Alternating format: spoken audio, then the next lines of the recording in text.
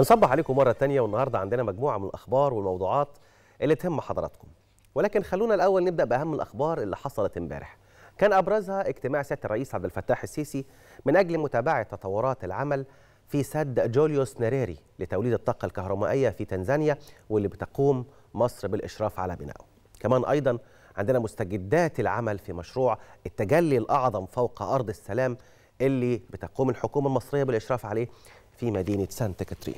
امبارح كمان الحكومة نفت الشائعات اللي ترددت بخصوص إغلاق مدرسة كلية النصر للبنات بالإسكندرية EGC وده بعد تعرضها لأزمة مالية. كمان في البورصة المصرية مصانع الأعلاف بدأت تسجيل عضويتها للسلع للحصول على الذرة الصفراء.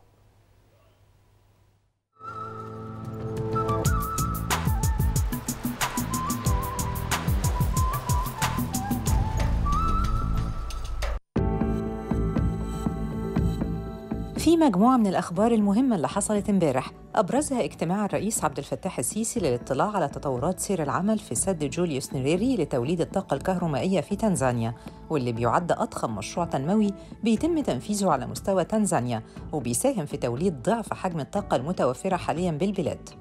وكمان اطلع الرئيس على مستجدات العمل في مشروع التجلي الأعظم فوق أرض السلام بمدينة سانت كاترين في سينا. ووجه سيادته بالاهتمام بكافة التفاصيل الخاصة بالمشروع بحيث تصبح تلك البقعة المتفردة مقصداً عالمياً للزائرين من شتى أنحاء العالم. امبارح أكدت الحكومة أنه لا صحة لإغلاق مدرسة كلية النصر للبنات EGC بالإسكندرية وتسريح طلابها بعد تعرضها لأزمة مالية. المركز الإعلامي لمجلس الوزراء أكد على انتظام سير العملية التعليمية بمدرسة كلية النصر للبنات بشكل طبيعي مع انتظام حضور كل من المعلمين والطلاب دون معوقات.